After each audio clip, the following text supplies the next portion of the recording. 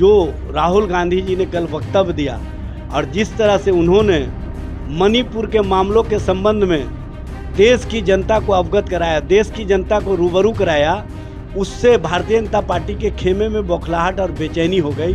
लेकिन एक बात मैं स्पष्ट कर देना चाहता हूँ कि मुंबई बैठक के बाद आप देखेंगे कि भारतीय जनता पार्टी के खेमे में कर्नाटक की तरह भगदड़ की स्थिति मचेगी। जो बेचैनी है, जो बौखलाहट है वो अब प्रधानमंत्री स्तर तक पहुँच चुका है। मोदी बनाम मुद्दों की बात कर रहे हैं। मुद्दों के साथ जब हम खड़े हैं, इंडिया के लोग मुद्दों के साथ जब खड़े हैं, इंडिया के लोगों की आकांक्षा के साथ खड़े हैं तो इसका कोई मतलब नहीं होता है कि कौन क्या कहता है। नमस्कार, मैं मनीष और आप देख रहे हैं एक न्यूज़ 24 हमारे साथ मौजूद हैं आरजेडी के प्रवक्ता एजाज अहमद जी। एजाज जी, पंजाब कांग्रेस के अध्यक्ष का कहना है कि हम पंजाब में तेरह सांसद को अकेले उतारेंगे। क्या कहेंगे, क्या इंडिया में सब ठीक चल रहा है? देखिए, इंडिया में सब कुछ ठीक है। अब लोकल यूनिट क्या बोलता है, उसका कोई मतलब नहीं है। जब राष्ट्रीय परिप्रेक्ष्य में बात हो रही है और हम मोदी बनाम मुद्दों की बात कर रहे हैं, मुद्दों के साथ जब हम खड़े हैं, इंडिया के लोग मुद्दों के साथ जब खड़े हैं, इंडिया के लोगों की आकांक्षा के साथ खड़े हैं तो इसका कोई मतलब नहीं होता है कि कौन क्या कहता है। लेकिन सबसे बड़ी बात यह है कि जो चुनाव मोड होता है और चुनाव में जो बातें होती है, वो केंद्रीय नेतृत्व के द्वारा फैसला किया जाता है और कांग्रेस का केंद्रीय नेतृत्व इस संबंध में सारी बातों को देख करके फैसला करेगा। लेकिन एक बात मैं स्पष्ट कर देना चाहता हूँ कि मुंबई बैठक के बाद आप देखेंगे कि भारतीय जनता पार्टी के खेमे में कर्नाटक की तरह भगदड़ की स्थिति मचेगी, क्योंकि भारतीय जनता पार्टी के अंदर जो बेचैनी है, जो बौखलाहट है वो अब प्रधानमंत्री स्तर तक पहुँच चुका है।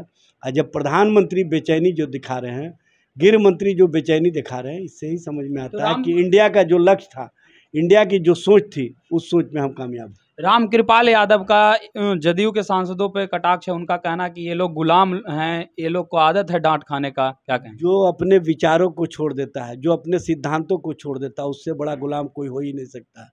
विचारों पर जो टिका रहता है सिद्धांतों पर जो टिका रहता है, वही आज़ाद होता है।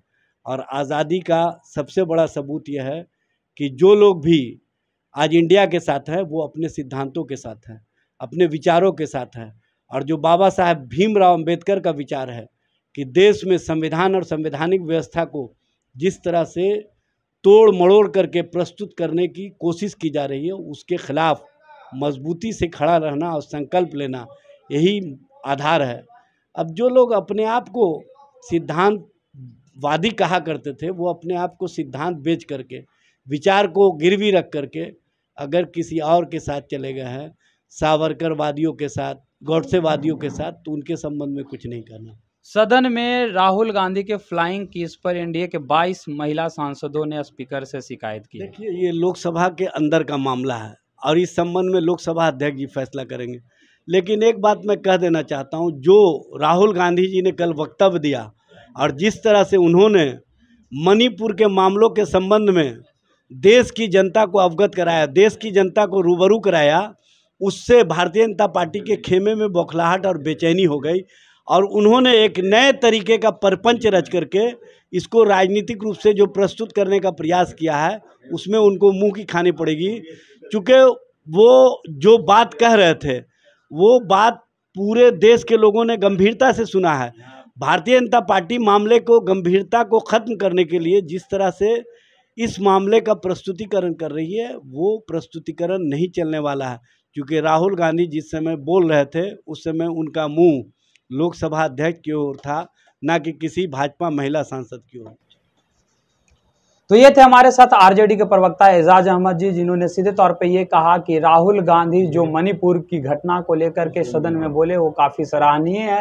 लेकिन सदन में बोलते हुए अगर फ्लाइंग किस की बात की जाए तो वो स्पीकर के तरफ़ फेस अपना किए हुए थे न कि किसी भाजपा के महिला सांसद की तरफ़। इस तरह के तमाम अपडेट के लिए देखते रहें एक न्यूज़ ट्वेंटी कैमरामैन पिंटू के साथ मैं मनीष पटना